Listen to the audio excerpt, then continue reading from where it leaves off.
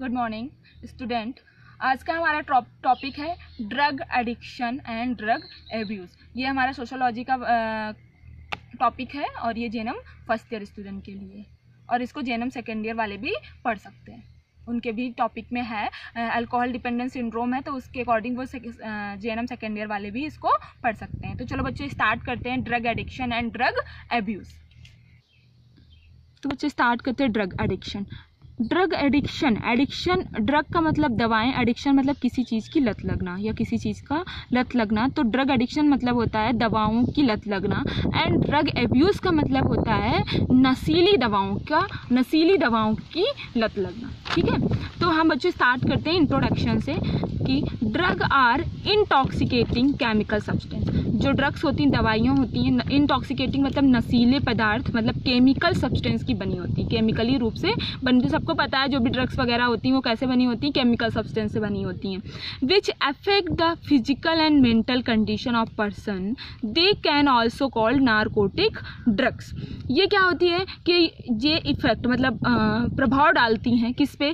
Physical and mental condition पे मतलब शारीरिक रूप से और मानसिक रूप से किस पे? एक इंसान के, एक इंसान के फ़िज़िकल और मेंटल पे ये प्रभाव डालती हैं। They can also called narcotic drugs ये जो ड्रग्स होती हैं, इनको हम लोग नारकोटिक मतलब मादक, ड्रग्स मतलब दवाएँ।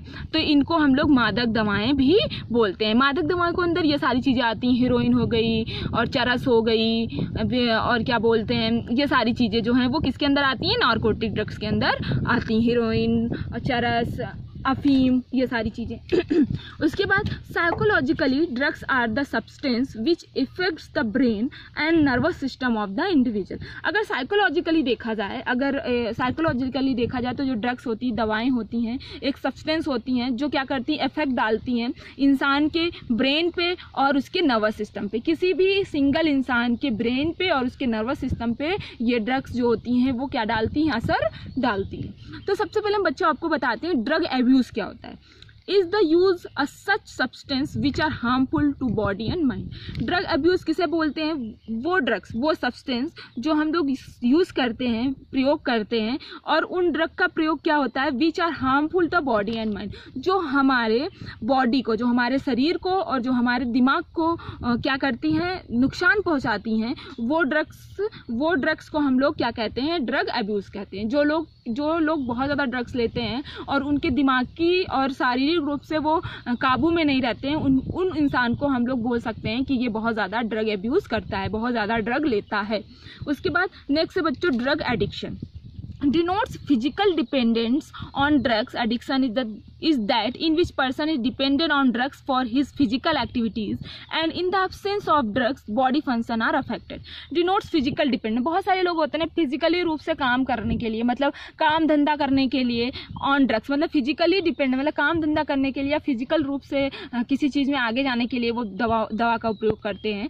Addiction is that in which addiction उसे कहते हैं, लत उसे कहते हैं in which person is depend non drugs जो उस ड्रग्स पे क्या होता है, फुल्ली तरीके से क्या होता है डिपेंड होता है। मतलब उस पर आधारित होता है फॉर हिज फ़िज़िकल एक्टिविटीज़ कोई भी फ़िज़िकल एक्टिविटीज़ करने के लिए कोई भी शारीरिक काम या आ, काम करने के लिए and in the absence of drugs body function are affected और अगर वो ड्रग्स वो नहीं ले रहा एबसेंस है उसके पास है नहीं तो उसकी वजह से जो उसका बॉडी फ़ंक्शन है जो उसकी बॉडी बॉडी जो वर्क करती है वो क्या हो जाएगी अफेक्ट हो जाएगी या फिर उसकी बॉडी पे प्रभाव पड़ेगा।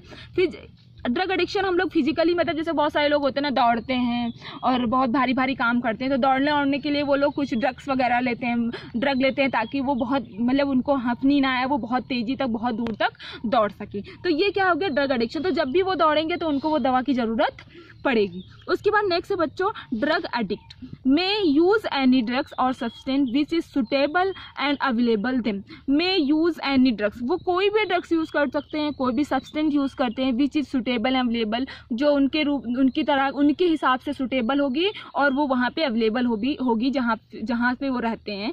They may be addict of one or more drugs और एडिक्ट का मतलब होता है कि वो फुल्ली तरीके से उन ड्रग्स पे एडिक्ट होंगे। मतलब उनको ड्रग्स चाहिए ही चाहिए होगी, वो चाहे कोई भी और एडिक्ट में वो बहुत सारी दवाओं का उपयोग करते हैं।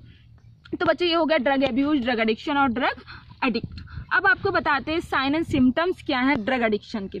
Strong desire to take drug मतलब उनके अंदर बहुत ज़्यादा इच्छा होगी ड्रग लेने की। दूसरा है strong determination to get it any cost और उनके अंदर बहुत ज़्यादा चाह होगी कि उन्हें किसी भी किसी भी हालात में उन्हें वो ड्रग्स चाहिए ही चाहिए ये उनकी साइन एंड सिम्टम्स होते हैं।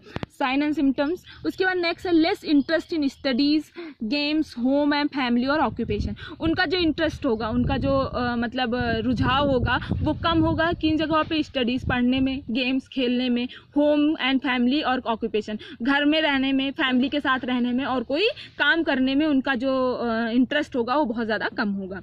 इरिस्पॉन्सिबल बिहेवियर उनका जो बिहेवियर होगा वो इरिस्पॉन्सिबल होगा। वो कोई भी काम नहीं करेंगे, इधर उधर घूमते रहेंगे, उन्हें किसी भी चीज़ से कोई मतलब नहीं होगा।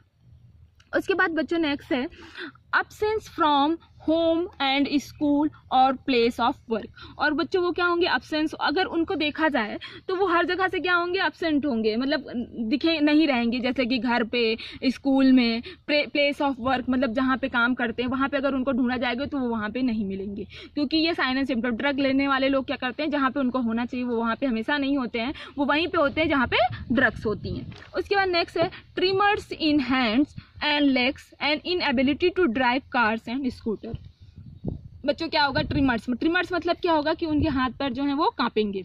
इन हैंड्स एंड लेग उनके हाथ और पैर जो हैं वो कांपते रहेंगे पूरे time but inability to drive cars and scooter और साथ में वो क्या? जो कार है स्कूटर है मोटरसाइकिल है, साइकिल है, ये सारी चीज़ें जब वो चलाएँगे तो उनके हाथ पैर कांपेंगे और वो उस, उन चीज़ों को वो आसानी से ड्राइव नहीं कर पाएँगे।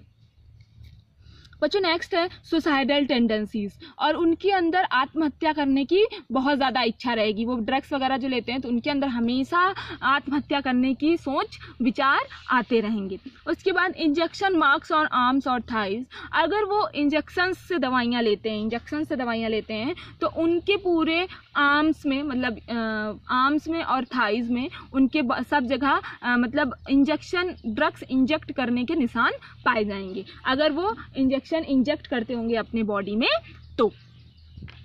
उसके बाद नेक्स्ट है बच्चों कॉजेज ऑफ़ ड्रग मतलब ड्रग के कॉज क्या हैं? मतलब कारण क्या हो सकते हैं? अगर कोई ड्रग एडिक्शन है तो उसके कारण क्या हो सकते हैं? बैड कंपनी जो जिनके साथ वो रहते हैं, जो उनका फ्रेंड्स ग्रुप होगा फ्रेंड सर्कल होगा, जिनके साथ वो उठते बैठते वो होंगे, वो वो भी क्या होंगे, बुरा होंगे। मतलब वो लोग भी ड्रग्स लेते होंगे, तभी उन, वो भी ड्रग्स ले सकता है। उसके बाद टू सेटिस्फाई क्यूरियसिटी और कुछ लोग होते हैं ना, अपनी क्यूरियसिटी को सेटिस्फाई करने के लिए। मतलब कुछ लोग क्यूरियसिटी होती है ना, उनके अंदर करके देखते हैं कैसा होगा बियर पी के देखते हैं ड्रग्स लेके देखते हैं, कैसा लगता होगा। तो कुछ लोग क्यूरियसिटी के चक्कर में क्या करते हैं, एक दो बार लेते हैं, फिर उसके बाद ना उनकी वही क्या हो जाती है हैबिट बन जाती है, फिर वो ड्रग्स के एडिक्ट हो जाते हैं। मतलब उनकी, उनको लत लग जाती है। उसके बाद next easy availability of intoxicants दूसरा कारण ये भी हो सकता है कि जो इंटॉक्सिकेंट्स हैं, जो भी मादक दवाइयाँ हैं, वो ईजिली मार्केट में अवेलेबल हैं। मतलब कहीं से भी वो, उन सारी चीज़ों को लोग ले सकते हैं। अनहेल्दी एजुकेशनल इन्वायरमेंट और साथ में हमारे हमारे देश में क्या है? एजुकेशनल जो एजुकेशन लेवल जो है, वो बहुत ज़्यादा कम है। तो लोग एजुकेशन लेवल तो कम है ही, साथ में क्या है कि जो लोग एजुकेशनल लोग होते हैं, जो मतलब बहुत पढ़े लिखे लोग होते हैं, वो अपने फ़ैशन के लिए ये सारी चीज़ों का यूज़ करते हैं, फिर एक दिन उनको क्या हो जाता है, वो उस चीज़ के एडिक्ट हो जाते हैं। उसके बाद पॉप कल्चर आजकल क्या है? बहुत ज़्यादा पॉप कल्चर्स हैं, बहुत ज़्यादा मतलब लोग ड्रग्स को क्या करते हैं, बहुत अहमियत देते हैं. बड़े बड़े शहरों में क्या है? हांगकॉन्ग वगैरह में क्या है? पॉप कल्चर है. वहाँ पे बहुत बड़े बड़े पॉप्स कल्चर हैं, बहुत बड़े बड़े लैब्स हैं पॉप हैं, जहाँ पे लोग जाके डांस करते हैं ड्रग्स लेते हैं. वो इस चीज़ को वो लोग क्या मानते हैं? अपना पैशन मानते हैं. धीरे धीरे क्या होता है? वो लोग उस पैशन के चक्कर में और अपने मतलब अपना अपने उत्साह के चक्कर में, अपने उसके चक्कर में क्या करते हैं, एक दिन वो ड्रग्स के एडिक्ट हो जाते हैं। उसके बाद गार्जियंस डो नॉट केयर एक रीज़न ये भी हो सकता है, जिनके गार्जियंस जिनके माता पिता जो घर में बड़े बूढ़े हैं, उनका ध्यान नहीं देते हैं तो वो बच्चे भी ड्रग एडिक्ट हो जाते हैं।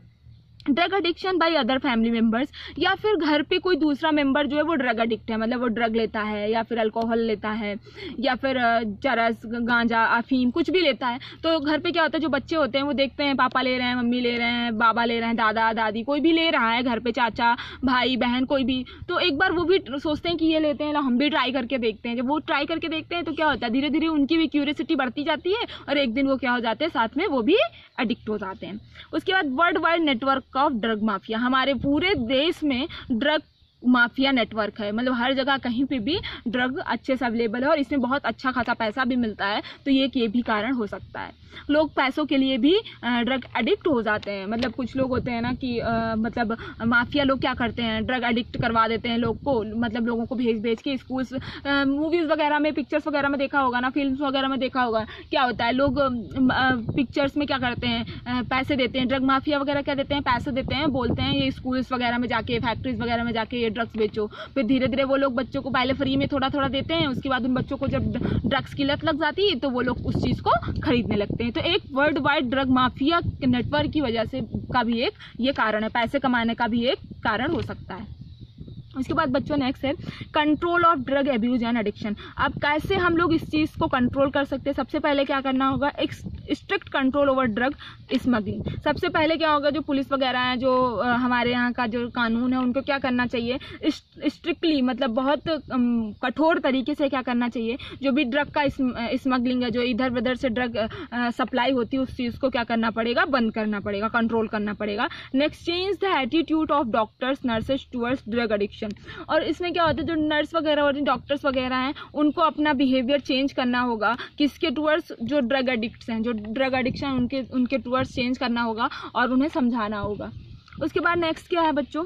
एजुकेटिंग पीपल रिगार्डिंग ड्रग्स और क्या करना है? लोगों को एजुकेशन देना है ड्रग के रिगार्डिंग कि पीपल को बताना है कि ये ड्रग्स लेने से ये दिक्कत हो सकती है, ये प्रॉब्लम्स हो सकती है। तो उन्हें ड्रग के बारे में क्या शिक्षा देनी है ताकि वो जागरूक हो सकें और इस चीज़ को दोबारा ना करें। उसके बाद नेक्स्ट ट्रीटमेंट ऑफ़ एडिक्ट्स और जो भी अल्कोहल डिपेंडेंस हो गया है, जिनको अल्कोहल लेते हैं लोग, उन सारे लोगों को या फिर जो चरस अफीम गांजा, ये सारी चीज़ें लेते हैं एडिक्ट हो गए हैं, उनको क्या करेंगे? ट्रीटमेंट करेंगे, उनको छोड़वाने की कोशिश करेंगे। आज बहुत, आजकल बहुत सारे बहुत सारे केंद्र खुले हुए जैसे कि नशा मुक्ति केंद्र वगैरह है, वहाँ पे ले जाने पे क्या होता है कि जो भी ड्रग एडिक्ट है, वो उस चीज़ को वो लोग वहाँ पे रखते हैं। कुछ मंथ के लिए कोर्स होता है, कितने दिन तक रखते हैं। तो वो लोग को वहाँ पे लेके जाते हैं और फिर वहाँ कमरे में बंद कर देते हैं। फिर उसके बाद उन लोग को खाने पीने के लिए सिर्फ़ खाना वाना दिया जाता है। बाकी वो जब भी ड्रग्स वगैरह मांगते हैं तो उनको नहीं दिया जाता है। तो क्या होता है, एक कमरे में वो हमेशा बंद रहते हैं, फिर धीरे धीरे उनकी जो लत है, वो छुटवाने की कोशिश करते हैं। उसके बाद नेक्स्ट है de-addiction camps and social attention towards follow up care और साथ में क्या है? डी एडिक्शन कैंप्स वगैरह लगवाना चाहिए स्पेशल अटेंशन देना चाहिए उन लोगों के, उन लोगों पे जो ड्रग एडिक्शन है, जो ड्रग लेते हैं, उनके टूवर्ड्स क्या करना चाहिए और फॉलोअप केयर के लिए भी करना चाहिए। उसके बाद checking supply of drug from border countries और उसके बाद क्या करना चाहिए? जो कंट्री की बॉर्डर है, वहाँ पे जाके क्या करना चाहिए? जो ड्रग्स की सप्लाई हो रही है, उसको चेक करना चाहिए। Last one strict implementation of narcotic drugs and psychotropic substance एक एक्ट चलाया गया है जहाँ पे एक्ट नाइनटी एट्टी फाइव के अकॉर्डिंग क्या जो भी नार्कोटिक ड्रग्स मतलब मादक दवाएँ हैं साइकोट्रोपिक सब्सटेंस है जो साइको साइको मतलब जो साइको पेशेंट है मेंटली डिस्टर्ब पेशेंट है, जिनके लिए यूज़ की जाती हैं, उनका स्ट्रिक्ट इम्प्लांटेशन होना चाहिए ताकि लोग उन चीज़ों का एडिक्ट ना हो सके। तो बच्चों, ये आज आज का टॉपिक था। हमने आपको इंट्रोडक्शन बताया ड्रग अब्यूज़ क्या होता है ड्रग एडिक्शन क्या होता है हमने आपको बताया साइन एंड सिम्टम्स बताए मैंने आपको कॉजेज़ बताए और control of drug and addiction कैसे कंट्रोल करेंगे? उन सारी चीज़ों को भी हमने आपको बताया। तो था, बच्चों, ये था आज का टॉपिक अगर आप थैंक यू अगर आपको कोई भी प्रॉब्लम है तो आप हमारे हमसे क्लियर कर सकते हैं। Thank you so much